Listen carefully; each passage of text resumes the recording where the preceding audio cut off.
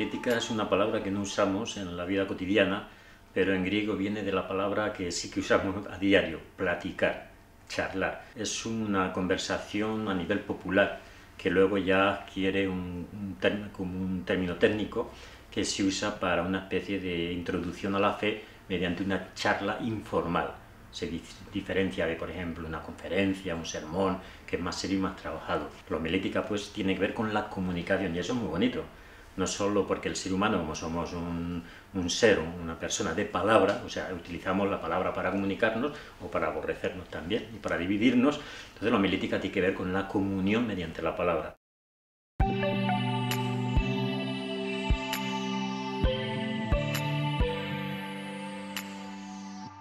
Sí, la homilética bíblica es el, arte, la homilética en sí hoy por hoy es ya un arte es el arte de la predicación, del expresarse en público, de comunicar la enseñanza, la enseñanza de la fe cristiana, el camino de la salvación, pero aplicado a la predicación, o sea, a la enseñanza, porque parte del papel de la Iglesia en el mundo es la enseñanza.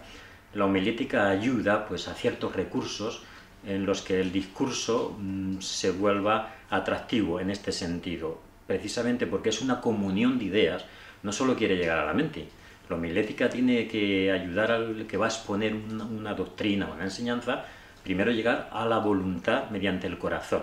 Porque cuando se gana el corazón y la, la voluntad, entonces la, mente obedece y la práctica. Entonces, el papel primordial de la homilética es preparar a los comunicadores, en donde la persona no solamente expresa unas verdades, sino que consigue que el público, el auditorio, la haga suya lo que le está eh, eh, enseñando, y de ese modo, pues claro, se produce un cambio, un cambio de actitudes, un cambio de, prácticas. Si no, pues sería hablar por hablar, sería usar palabras, sería caer en la retórica, quedar bien.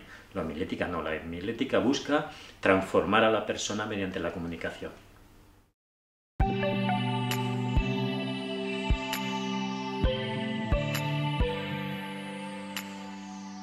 Es difícil. De hecho, hay una, al final una bibliografía extensa, creo que todo lo que se ha publicado tanto en español como en inglés u otros idiomas está ahí, como un homenaje a todos los que han escrito sobre este tema de la homilética, que es un tema muy amplio, aquellos que van a ser comunicadores, sea predicadores, catequistas o profesores de escuela dominical, eh, no hacen este uso de estos recursos, pero que se vea esa gran riqueza, porque el cristianismo siempre ha sido eh, un pueblo de comunicadores, empezando por Jesucristo. Hizo milagros, hizo muchas cosas, pero básicamente era un comunicador, comunicador mediante parábolas, mensajes, enseñanzas, y la historia de la iglesia cristiana es una historia casi de predicadores, más que de teólogos, y han sido los que han movido masas, han provocado avivamientos, reformas sociales, incluso la abolición de la esclavitud se debió a hombres que tenían una fuerte confianza en la comunicación verbal, pues tratar de convencer a los que se dedicaban al comercio, por ejemplo, de esclavos, de que aquello no era rentable y mostrarlo. ¿Qué autores he puesto? Autores representativos,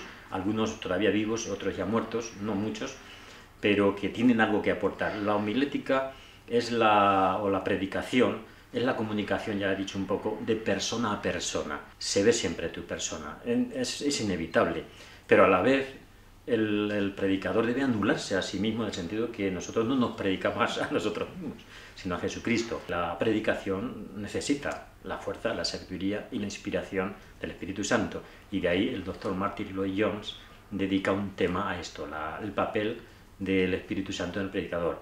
Bounds, que es muy famoso por el papel que él siempre ha otorgado a la oración en la persona. Jesucristo decía que de la abundancia del corazón habla la boca.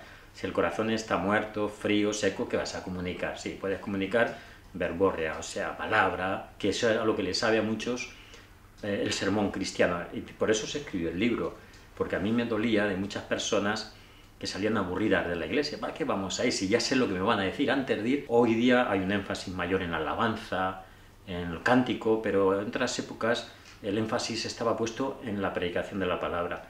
Como algunos piensan que la predicación ha pasado casi de moda, que hay que dar lugar a nuevas maneras de culto. Eso me preocupa. El cristianismo siempre ha sido un movimiento de predicadores, de personas que han utilizado la palabra para comunicar, para conmover y producir transformaciones individuales y sociales. Entonces la iglesia tiene ese, púlpito, tiene que darle el papel importante que tiene, que el mundo depende mucho de él, es como un timón que puede hacer que naufrague una persona o que llegue a un buen puerto. Para que se den cuenta que no, que lo que interesa no es tanto convencer, sino que es, lo que intenta es cambiar a las personas desde la honestidad, la sinceridad, haciendo que cada cual responda desde, desde lo mejor de sí mismo a la luz de esa palabra que es como una semilla que va a crecer en él. ¿no? Y entonces la labor del homileta o del que enseña o anima a usar la palabra con corrección es una labor vitalísima dentro de la Iglesia.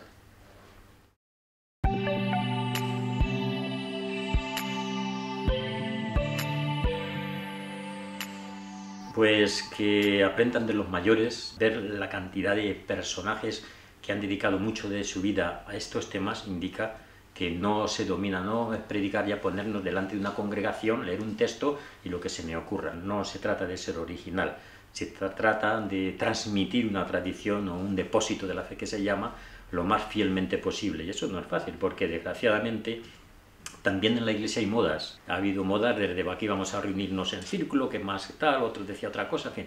Y todo eso pasa y sabemos que, de nuevo, insisto, la importancia de, la centralidad de la predicación, la centralidad del púlpito. La religión cristiana o evangélica siempre se ha basado en la predicación. Y si el predicador o el pastor falla en el sermón, falla en todo, porque nosotros pasamos todo en esa comunicación que se debe producir entre Dios y el hombre. O sea, que la predicación es parte de la adoración y de la alabanza en el Dios que da y yo que recibo y yo que respondo eh, queriendo cuando salga de ese domingo eh, renovar mi vida en mi relación con los demás. Y eso es, hay que tomar conciencia. Si fallamos en la predicación, que es el punto central del culto evangélico, la Iglesia puede caer en una crisis muy grave e irreparable.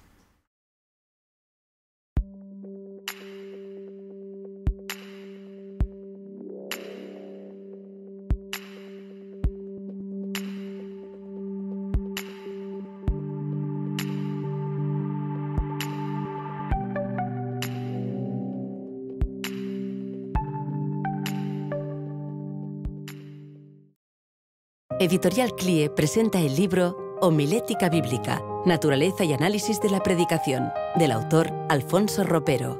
Un estudio académico y práctico de lo que debe ser la homilética, enriquecido con capítulos de varios reconocidos especialistas como E.M. Bounds, Martin Lloyd Jones y Garnet Reid. Id y predicad fue el mandato de Jesús. Por tanto, el arte de la predicación debe ser cultivado con diligencia. Puede adquirir homilética bíblica en su librería cristiana habitual o escribiendo a ventas.clie.es. CLIE, 90 años sirviendo al cristianismo.